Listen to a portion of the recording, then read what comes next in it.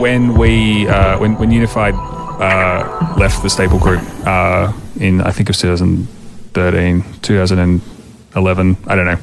Um, we were uh, free to essentially exercise our own vision as a music company, um, and we um, very quickly had uh, quite a number of successes happen. Um, Vance Joy became, you know, who he is. Um, Violent Soho, um, you know, re-arrived as you know Australia's biggest rock band. Um, you know, Amity Affliction uh, continued to be the biggest metalcore band in Australia, and, and and all these sorts of things happened. But there was one moment in particular which, uh, you know, it.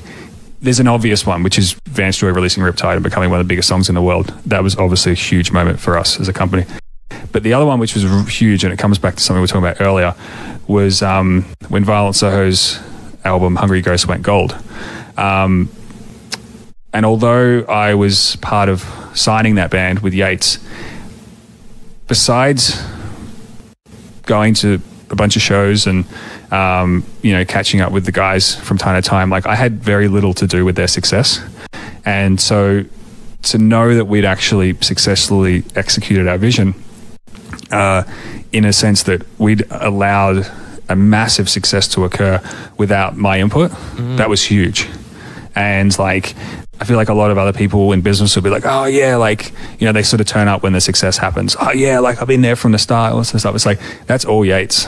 Yeah. You know, right. like that's all Yates, and that's not to me. That's not me saying like when when when Luke Boerdam calls me, I don't like cancel his call. Like I I, I, I hope he calls me today. I, I love the guy. I want to talk to him, but like that's Yates. You know, like Hmm. so that was to me like all right, we've we're doing this.